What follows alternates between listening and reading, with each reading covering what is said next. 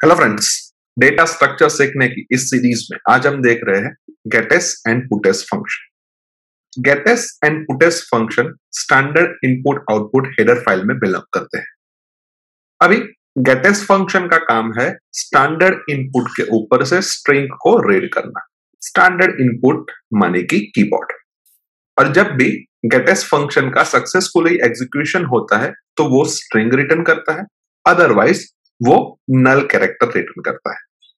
यानी कि हम गेटेस फ़ंक्शन की सिंटेक्स देखना चाहे तो सबसे पहले गेटेस फ़ंक्शन और उसके पैरामीटर के तौर पे हमें एक स्ट्रिंग पास करनी पड़ती है, जो कि एक कैरेक्टर एरे है एंड वो रिटर्न भी एक कैरेक्टर एरे यानी कि स्ट्रिंग ही करता है।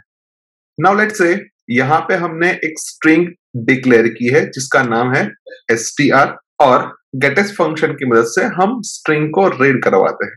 यानी कि इस स्टेटमेंट का एग्जीक्यूशन खत्म हो जाने के बाद हमने जो भी स्ट्रिंग इंसर्ट की है, वो एस के अंदर जाके स्टोर हो जाएगी। लेट से हम यहाँ पे कंप्यूटर रीड करवाते हैं तो कंप्यूटर नाम की स्ट्रिंग एस के अंदर जाके स्टोर हो जाएगी। एंड जब भी हम प्रिंट फ़ंक्शन की मदद से एस को प्रिंट करवाते हैं, तब कंप्यूटर हमें प्रिंट होके मिलेगा। अभी लास्ट वीडियो के अंदर हमने देखा था कि स्ट्रिंग को हम स्कैनएफ फ़ंक्शन की मदद से भी रीड कर सकते हैं।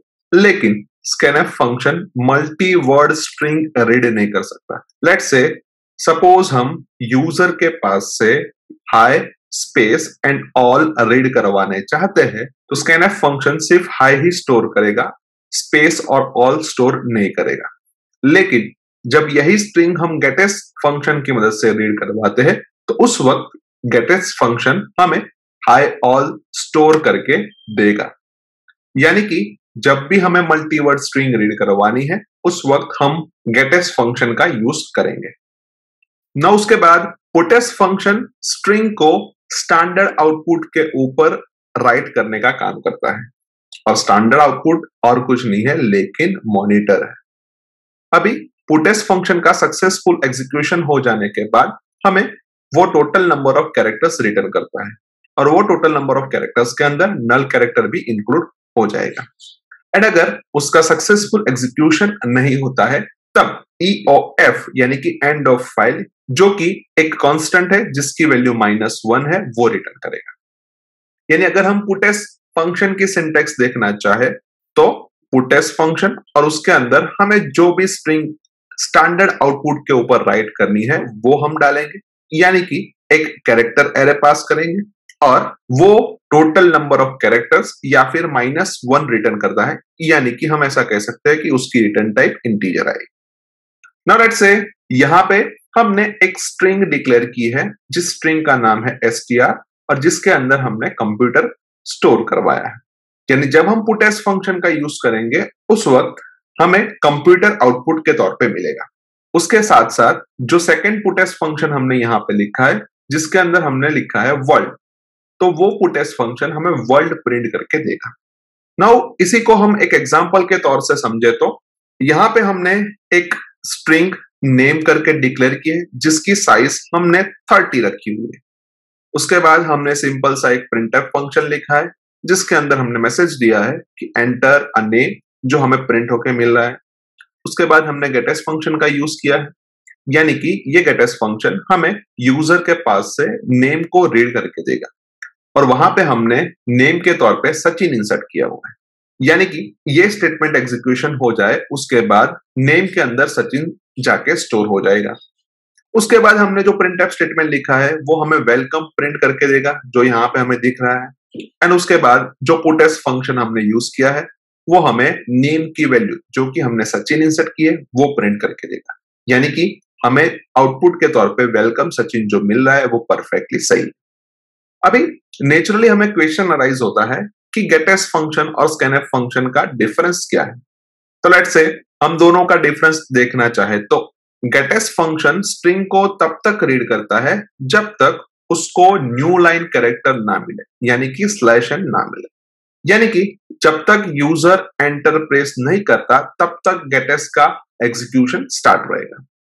और स्कैनएफ फ़ंक्शन का एग्जीक्यूशन तब तक स्टार्ट रहेगा जब तक उसको न्यू लाइन कैरेक्टर यानी कि स्लैश है, या फिर वाइट स्पेस यानी कि simple space slash T slash N slash B slash F और स्लैश आर ना मिले, तब तक उसका एग्जीक्यूशन चलता रहता है।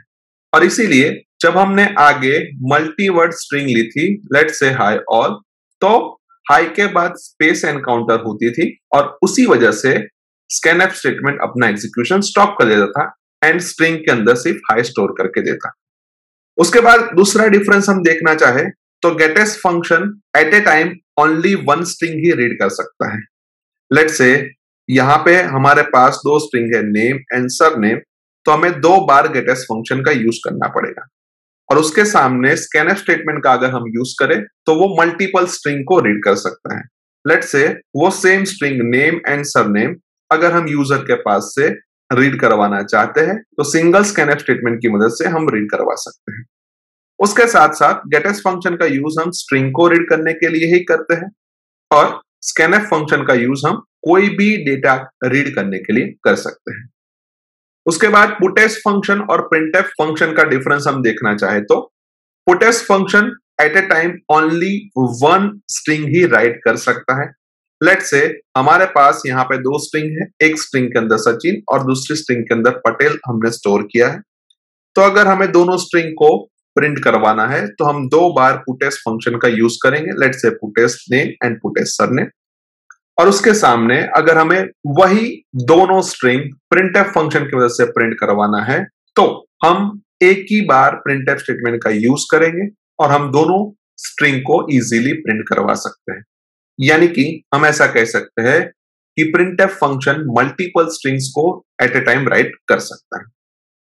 उसके साथ साथ पुटेस फ़ंक्शन सिर्फ़ स्ट्रिंग को ही राइट कर सकता है और प्रिंट एफ़ फ़ंक्शन किसी भी टाइप के डेटा को राइट कर सकता है। सो आई होप कि आपको इस वीडियो के अंदर gets function as well as puts function के अंदर इजीली समझ आ चुकी होगी। आज के वीडियो में बस इतना ही। नेक्स्ट वीडियो के अंदर फिर से मिलेंगे। Thank you very much